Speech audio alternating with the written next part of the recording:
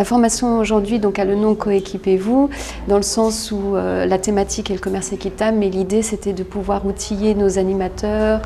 tous travailleurs du secteur socioculturel, euh, à l'aide d'outils pédagogiques qui traitent de cette thématique et qui permettra de sensibiliser le public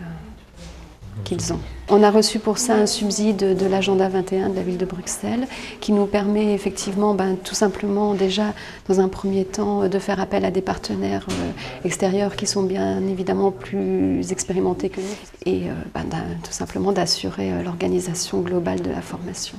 Donc autour du commerce équitable, nous souhaitons d'abord que nos participants puissent prendre conscience des enjeux économiques, euh, qui, sont liés à ça, des enjeux euh, environnementaux également. Euh, donc, par exemple, ça peut être tout au niveau de l'empreinte écologique,